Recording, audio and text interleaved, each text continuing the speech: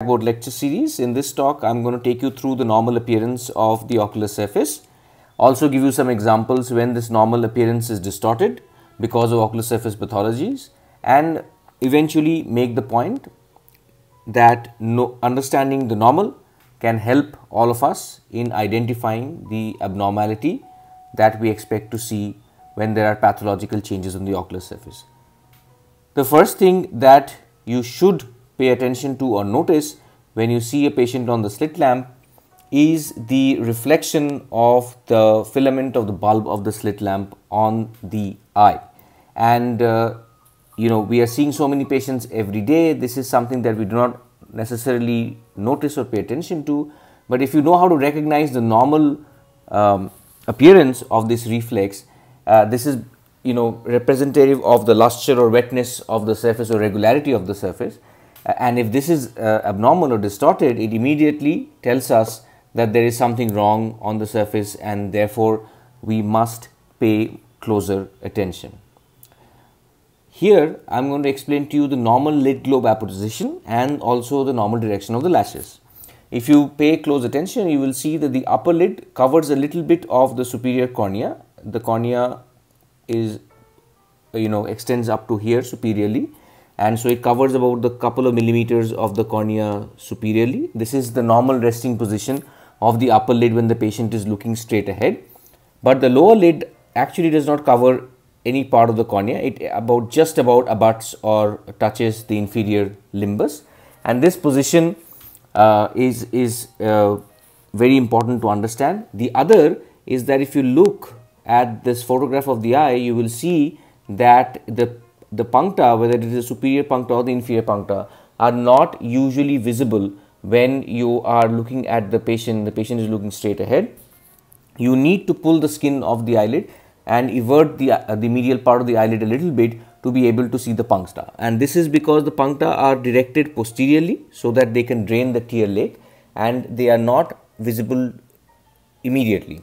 And uh, if they are, that means that there is something wrong with the eyelid.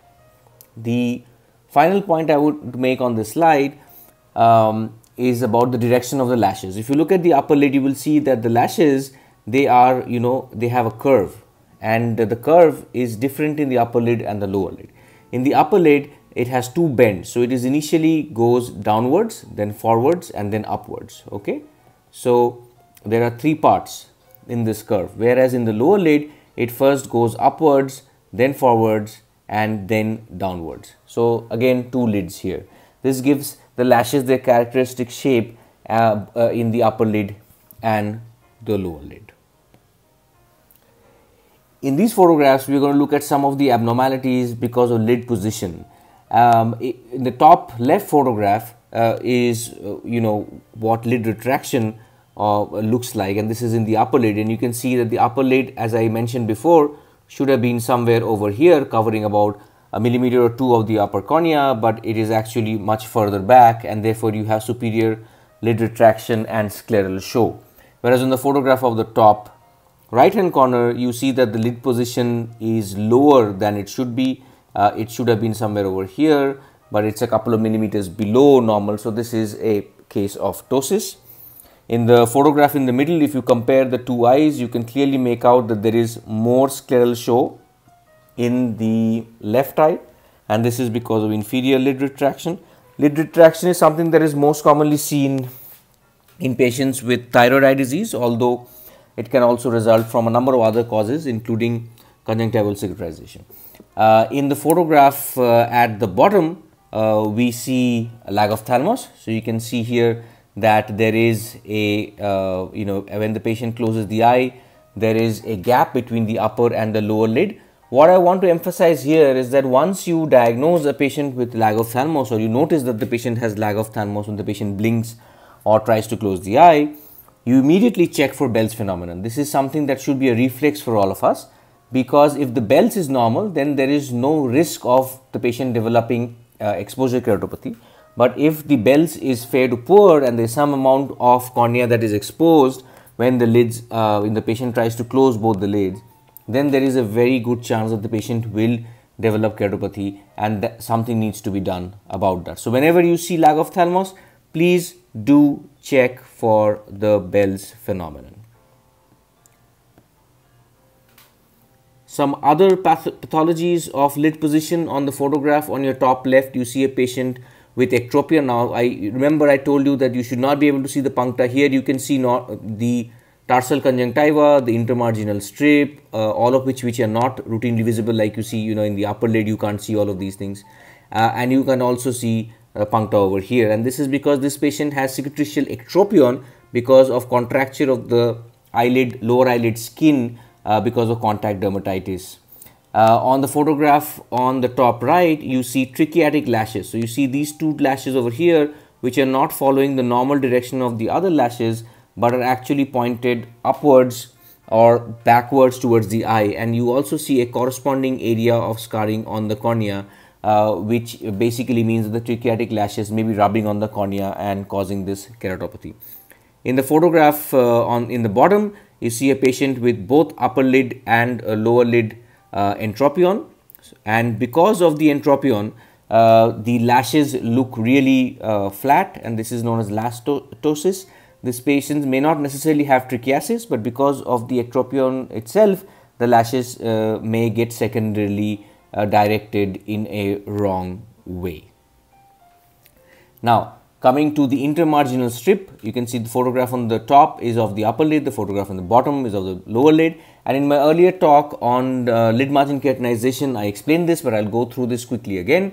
In between, uh, you can see the gray line over here, which is more prominent uh, over here in the lower lid. The gray line uh, more or less splits the intermarginal strip equally into the anterior lamella which contains the skin, the lashes and the uh, orbicularis muscle and the posterior lamella which contains the tarsal plate and the meibomian glands which are within the tarsal plate. Um, uh, and similarly here in the lower lid you see the same thing, the intermarginal uh, strip is split by the gray line into the anterior lamina and posterior laminae and um, in the anterior lamellae you have the orbicularis and the lashes. Uh, and in the posterior lamellae you have um, the tarsal plate with the meibomian glands.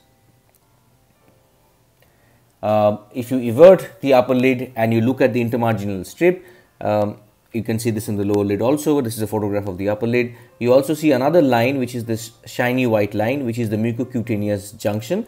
This is just posterior to the meibomian gland orifices whereas the gray line is anterior to the meibomian gland orifices because the gray line splits the intermarginal strip uh, or the lid into the anterior and the posterior lamella.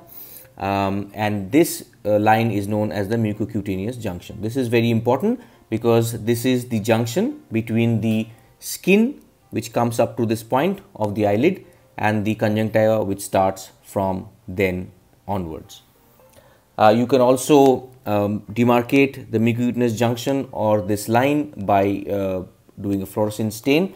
There is no actual staining, but the fluorescein uh, is able to clearly demarcate uh, the conjunctival part from the skin part. You can see that there is no actual collection of fluorescein on the skin uh, whereas the there is uh, and uh, on the conjunctival part and because there is a slight depression here at the mucocutaneous junction anatomically a bit of the fluorescein pools here it gives a nice linear appearance to this line. So, if you are not able to pick it up on just um, white light examination you can use the cobalt blue filter and the fluorescein to uh, make this distinction.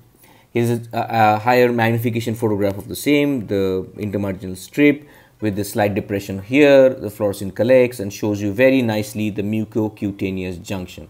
Note that the mucocutaneous junction is just posterior to the opening of the meibomian glands uh, and this is where the conjunctiva or, or the palpebral or tarsal conjunctiva starts and the eyelid skin ends. Now, moving on, this is a photograph of the uh, tarsal plate or the um, tarsal conjunctiva in the upper lid. This is an inverted photograph. This is the uh, actually the uh, superior margin of the tarsal which is covered by the conjunctiva because this lid is inverted.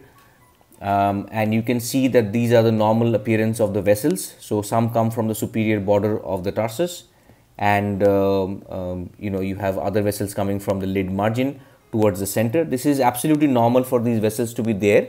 This is not an inflamed tarsal conjunctiva. I just wanted to show you that. And um, um, also remember that the meibomian glands are usually not visible uh, when you evert and look. It's not visible to the naked eye or to white light. You need infrared photography to see the meibomian glands uh, in the upper lid because the, the tarsus is very thick. Uh, it's about uh, 12, uh, 10 to 12 millimeters in uh, height and also quite thick. So the meibomian glands which are deep inside are not visible. Although there are, you know, um, 30 to 40 glands in the upper lids, you can't basically see them with white light. However, in the lower lid, the tarsus is very short, it's only about 4 millimeters in height and it's also not as thick as in the upper lids and so even with white light or the naked eye, you will be able to make out the meibomian glands in the lower eyelid. Here of course you can see that the eyelid is pathological. Over here you can trace the fluorescein staining very nicely and see that the mucocutaneous junction is very abnormal uh, it's distorted. You can also see that there is crusting in the eyelid skin. Um, there are uh, there is uh, uh tarsal scarring, subepithelial tarsal scarring over here, uh, and you can also see that there is severe meibomian gland dropout. So you can't see the orifices at all. It looks like you know scarring has destroyed all of them. So this is obviously a case of cicatrizing conjunctivitis. Of course, just by looking at the eyelids, we are not we won't be able to say what is the cause but I'm just trying to show you the extent of the pathology here. In the photographs at the bottom, these are very straightforward. You see uh, papillary reaction. The reason that you see papillae on the tarsal conjunctiva and you don't see it on the bulbar conjunctiva is because the uh, palpebral or tarsal conjunctiva is very firmly adherent to the underlying tarsus, which is not the case in the bulbar surface, where it is very loosely adherent to the underlying Tenon's and it is also redundant so that the eye can move. On the tarsus, it's firmly fixed and when there is chronic congestion then as the cornea becomes a little bit as the conjunctiva becomes a little bit boggy uh, and swollen uh, it swells within these uh, you know attachments or these adhesions to the tarsus and so it gives you this polygonal kind of a uh, appearance uh, as if it is getting inflamed uh, within these polygonal shapes because the adhesions restrict a global more diffuse uh, congestion from showing up on the tarsal surface. And sometimes you can have, uh, you know, uh, discharge which collects within this these uh, papillae and this is one of the main uh, stimuli for uh, children with um, with vernal keratoconjunctivitis for them to rub their eyes because they want to get this discharge out and if you sometimes ask these children how they do it they will actually show you uh, which is very gruesome of how they flip the lid and actually uh, grab and pull this ropey discharge out. The other distinction that you need to make here is that the papillae on the right side look a little bit atrophic. So this is a much more chronic uh, phenomenon on the uh, photograph on your right side, whereas this is more of an uh, uh, of maybe not acute, but not as chronic as the photograph on your right. Here you see obvious lid margin keratinization in the photograph on the top. There is uh, posterior migration of course of the mucocutaneous junction. It should have been somewhere over here uh, where the meibomian glands, but the glands are also gone in both the photographs on the top and the bottom. Uh, so you can see some of the atrophied meibomian glands in the photograph in the bottom. So the mucocutaneous junction should have been here, but it has actually migrated posteriorly, and this is what you see very commonly in Stevens Johnson syndrome. But you can also see lid margin keratinization in several other causes of cicatrizing conjunctivitis. The photograph on your top is a row of distichiatic lashes. Distichiasis is different from trichiasis. Trichiasis uh, means that the lashes are normal in position, which means that they are in the anterior lamina, but they are misdirected. Instead of uh, going forwards and downwards or forwards and upwards as in the lower lid and upper lid respectively, they are actually uh, pointed towards another direction. So that would be trichiasis. But here what you see is distichiasis where the there is a, a metaplasia of the meibomian glands and they turn into uh, glands that then produce hair follicles and these hair follicles because of the direction of the meibomian glands are directed posteriorly. As you can understand, the meibomian glands are in the tarsal plate, which is in the posterior lamella of the eyelid, and the uh, meibomian glands are directed towards the eye because the idea is that the glands will secrete their meibum uh, towards the ocular surface and it will mix with the tear film. So, when these turn into hair follicle producing glands, then these uh, glands are therefore uh, the hairs that come out of them uh, point uh, towards the eye and this is very problematic more problematic than trichiatic lashes because all of them are always directed at the eye and cause can cause severe uh, keratopathy. Also very difficult to treat with electrolysis because the root of the hair follicle is very deeply embedded in the tarsus and often needs multiple application. Uh, the photograph on the bottom basically shows you atrophied meibomian glands. When you have chronic inflammation, um, you can have or keratinization of the lid margin, you can have meibomian gland atrophy and the meibomian gland basically breaks up. So, you know typically this is how a meibomian gland would look in the lower lid, but uh, when these individual acini, uh, you know when the duct gets blocked, the individual acini uh, get sequestered and they break up into this you know uh, ferny kind of pattern and uh, you see them uh, you know these individual acini are still alive, but the gland itself is very distorted and gone.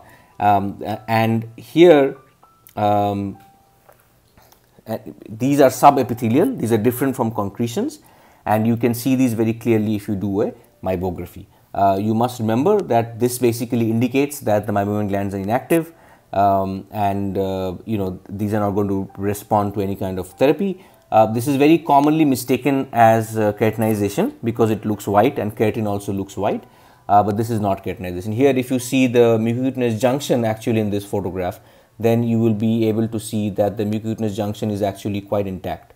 Uh, there is nothing wrong with the mucocutaneous junction per se.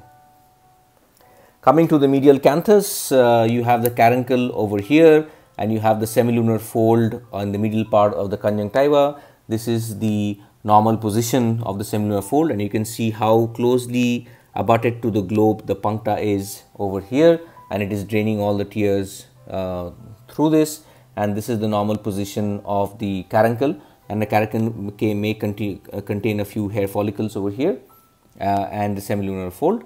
Um, uh, you can have medial canthal uh, fibrosis and uh, you can have loss of the plica like over here see you do not see the fold anymore. This is just a symblepharon which is connecting the upper and the lower lid and you can see the keratinization over here the normal appearance of the caruncle is gone. So, this uh, caruncular fibrosis, medial canthal fibrosis or loss of plica is one of the very early and subtle signs of cicatrizing conjunctivitis which you should also pay attention to. And sometimes this fibrosis uh, you are not able to make out unless you actually hold the lid apart and, uh, apart and ask the patient uh, to look um, in the uh, opposite direction. So, you ask the patient to abduct the eye and you can also see that because of this problem like from the previous photograph if you uh, pay attention you can see that even with when we are taking this photograph the puncta is pointed towards the eye. But here you know as we are uh, trying to hold the lids apart you can easily see that the puncta now is pointing towards you which uh, means that there is an abnormal uh, malposition of the lid also because of that. And normally the semilunar fold in abduction stays in place because uh, you know it is a redundant fold so, it will actually not move from place. Irrespective of whether the patient looks in the primary position or abducts the eye the similar fold will more or less hold its position, but in cases where there is fibrosis subconjunctivally uh, the similar fold will be dragged. So, here you can see that the fold essentially is being dragged. It should have been somewhere over here, uh, but it is getting dragged temporarily. This is in a case of a primary pterygium uh, it can get dragged even more in recurrent pterygium or a case of pseudopterygium like a symblepharon. Uh, this is the normal lateral canthus. Uh, one of the differences that you should be able to notice now uh, since I have shown you the medial canthus already is that the lateral canthus is typically a more oval uh, or curved appearance whereas the medial canthus we noticed was more of an angular appearance. The lateral canthus uh, is more uh, has a more curved appearance and there you can see that there is a, an actual gap uh, you can see a slight shadow here between the conjunctiva because of the redundancy of the uh, conjunctiva and, and, and, a gap between the globe and the uh, canthus here. It is not uh, attach uh, um, to the lids and which is also normal. If you ask the patient to adduct and just pull the lateral canthus up a little bit, you will also be able to see the palpebral lobe of the lacrimal gland and this is how it looks like. So, you can see this you know uh, multilobulated structure over here. This is the palpebral lobe of the lacrimal gland and um, this is what produces the aqueous component of the tear film and in patients with Sjogren's or Stevens-Johnson syndrome you can actually see fibrosis. So, you can see here the fibrotic bands that are there uh, within the lacrimal gland which are uh, essentially distorting the normal appearance. So, you do not see the normal lobulated appearance anymore, you see a much more flatter gland because of the subconjunctival fibrosis that has affected uh, the palpebral lobe, of the lacrimal gland. So, if you are you know seeing ocular surface cases and patients with dry eyes, you should make a habit of just uh, pulling the upper eyelid a little bit more extra so that you can also examine the palpebral lobe of the lacrimal gland along with your entire ocular surface examination.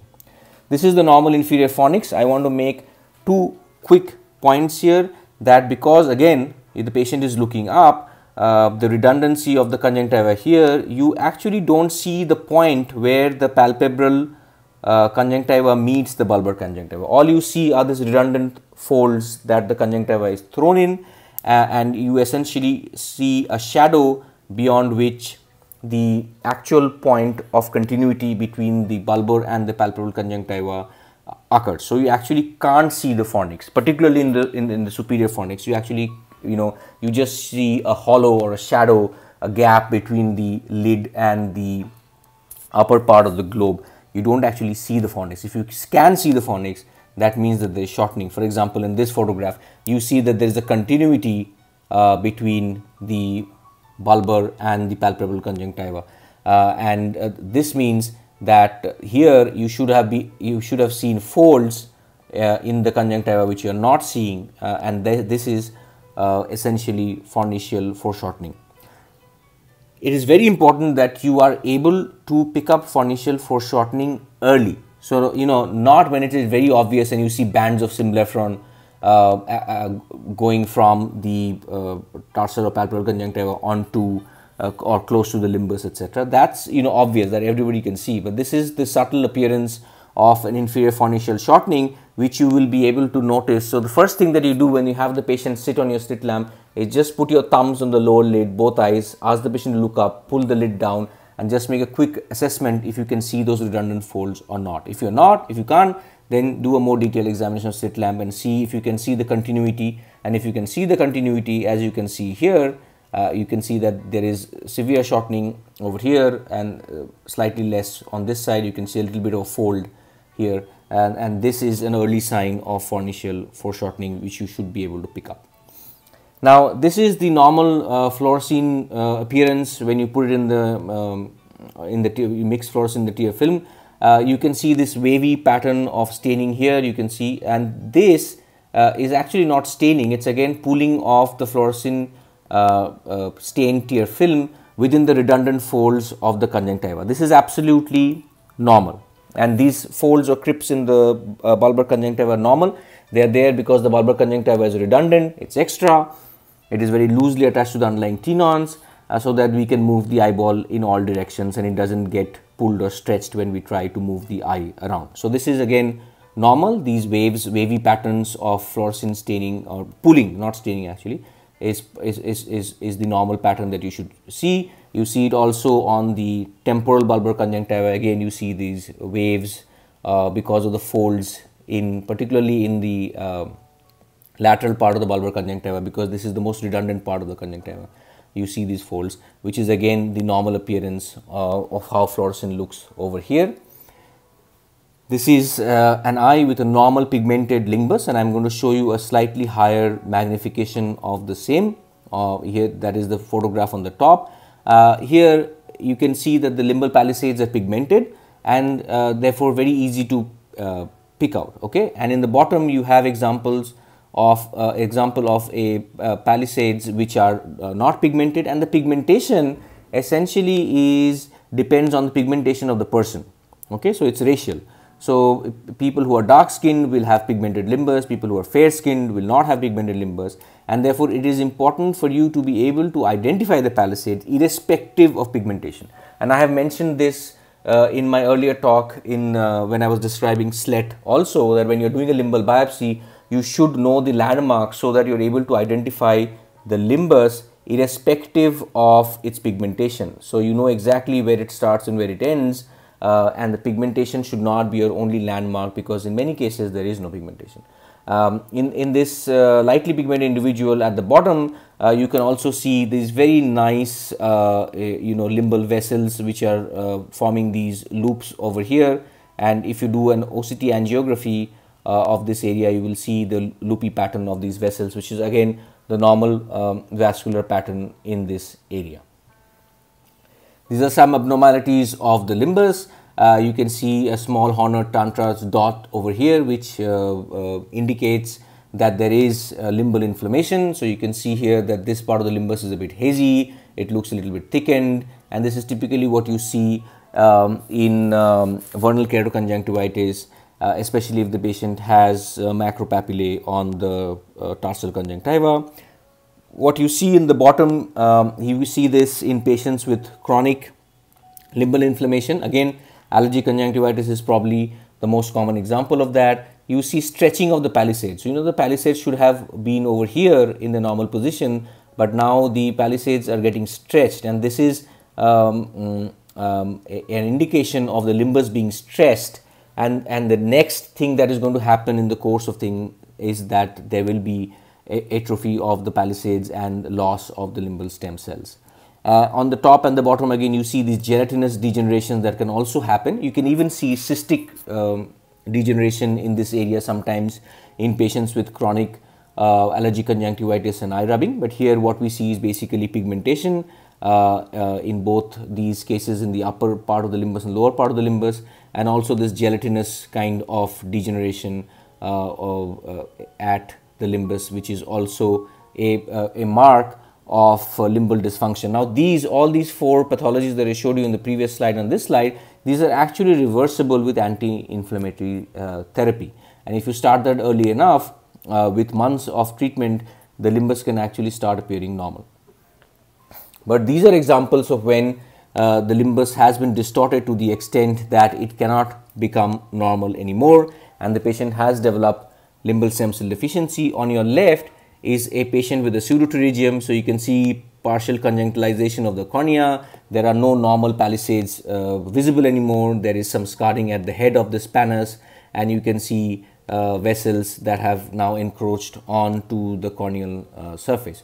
On your left, um, here you see like there is a global kind of a dermalization of the entire ocular surface you can still make out. So here you see there is the continuity is the uh, is lost. So you can see that uh, the cornea uh, has been covered partly by conjunctiva. Here it is not. You can still make out that the cornea and the conjunctiva look very different, but all of it is uh, covered now with keratinized uh, uh, epithelium rather than non-keratinized epithelium. Normally the cornea and the conjunctival epithelium is non-keratinized unlike the skin, but here all the epithelium looks like a thin layer of skin has grown over the entire ocular surface. This a lot of people believe is not a form of limbal stem cell deficiency but just diffuse squamous metaplasia because of chronic inflammation um, and dry eyes. So both of these uh, are, are, are changes where it shows that the you know the, the limbal cells are affected and it won't reverse with medical therapy, but the etiology and the pathogenesis are very different. When you put fluorescein on the ocular surface and because fluorescein staining is a very important component of um, your ocular surface examination and also when you are trying to see what are the pathological changes, is there any staining, is there any epithelial defects and so on and so forth and there are so many other applications that I talked about earlier.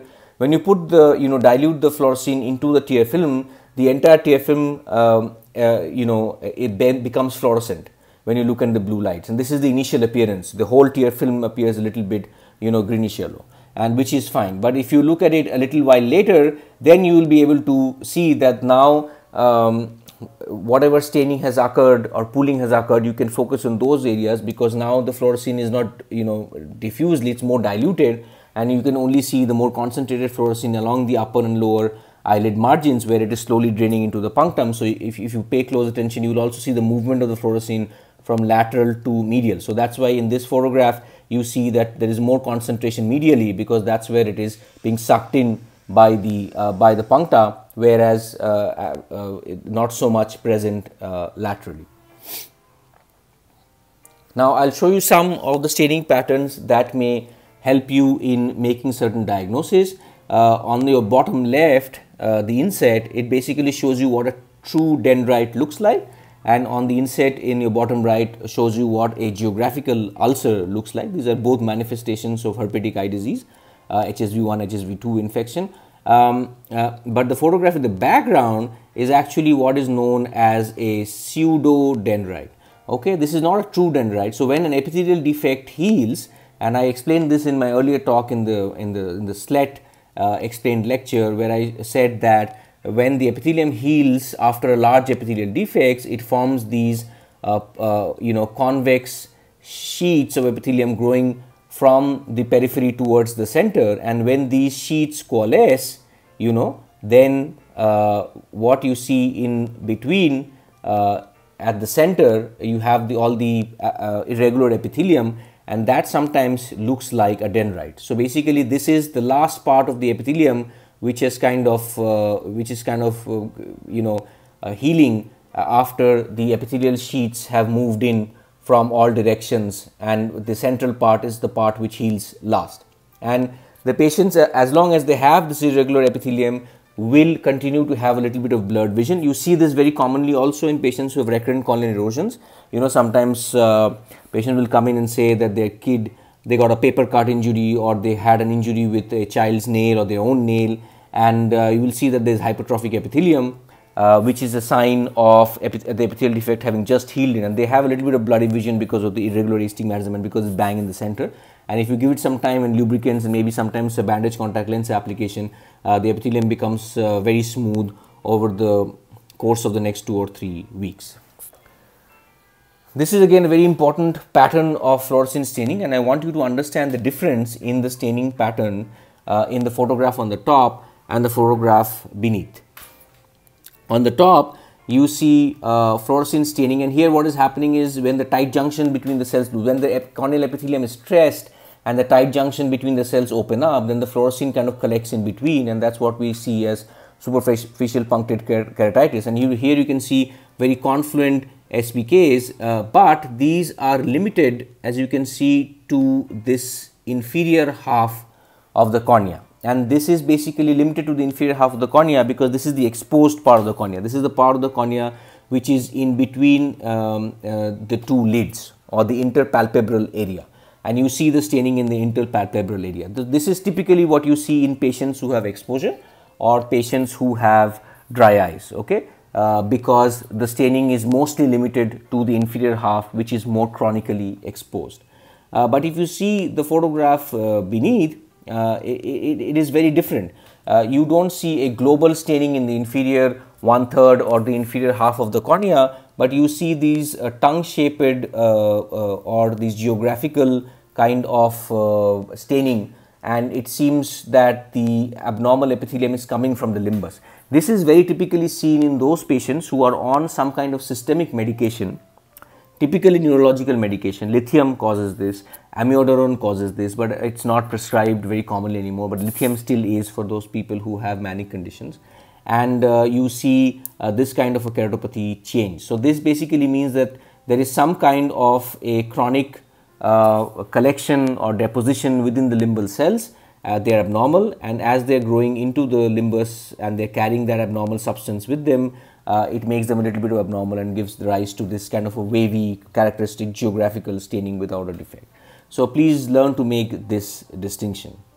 Also, um, look for what I call differential staining and differential staining is very very important um, it basically tells you that there is something uh, it tells you where the problem is essentially so you see here in this uh, photograph on your left side you have staining which is restricted to the nasal half of the cornea whereas in the on, on the slide on your right the photograph on your right you see that, that there is a, a patch of staining at the superior uh, near the superior limbus with some associated vessels coming in from the limbus. you also see staining which is restricted here in the inferior limbus and you also see that there is staining in the center part of the cornea. Now all of these things are telling you a different story. In the photo in the in the photograph on your left, it means that there is something wrong in the medial part of the upper or the lower eyelid which is causing uh, these erosions and uh, this pattern of staining and the stressing out the epithelium. And uh, this patient actually has, and I've shown this earlier in the lid keratinization talk also, keratinization that is only restricted to the medial part of the upper lid. Whereas in the photograph on your left, uh, the staining in the superior part of the cornea and uh, on the photograph on the right, the staining in the superior part of the cornea and the inferior part of the cornea are because of lid margin changes, but the staining in the central part of the cornea is actually uh, because of the dry eye and exposure.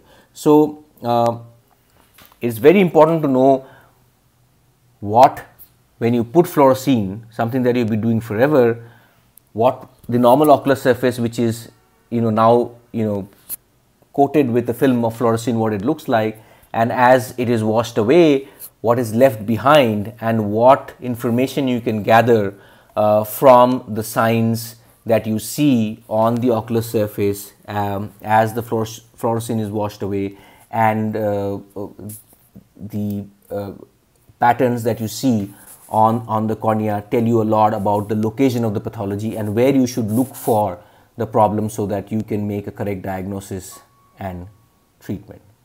All right, that brings me uh, to the end of this talk. So, we looked at what was normal, uh, we looked at certain examples of when this normal is distorted and we look uh, and the ocular surface develops certain abnormal features and I hope that now you have learned how to recognize the normal it will make it easier for you to identify the abnormal. I want to leave you with this final piece of message that the examination of the patient does not begin when the patient sits on, on, on the chair and you switch on the and the swing the slit lamp into position and switch the light on and start looking at the eye. You should try to pay attention of how the patient blinks how uh, uh, how complete the blink is um, what are the other things that the patient is doing what is the pigmentation around the eye what is the normal position of the uh, eyelids what is the normal direction of the lashes all of these things are gross examination. And you know a lot of old timers will tell us you know these are things that we used to do much better with the torch lamp but now because we make this patient stay directly at the slit lamp we miss these findings. But you still have the opportunity to pick up these findings. When you greet the patient you take the patient into the room the patient comes and sits in front of you you re review the history and you are conversing with the patient it actually gives you a great opportunity to look at all of these things before you start to look and do uh, look more closely and do a more detailed examination uh, of the ocular surface. So, I hope that this talk was helpful. I would love to hear your feedback and also suggestions on what other topics you would like me to speak on. Um, so, please, uh, you know, uh, give me your suggestions, criticisms, feedback, and I will be happy to improve on all of these aspects and uh, and you know prepare talks which uh, on on topics that you may be interested uh, about. Thank you so much for listening and until next time.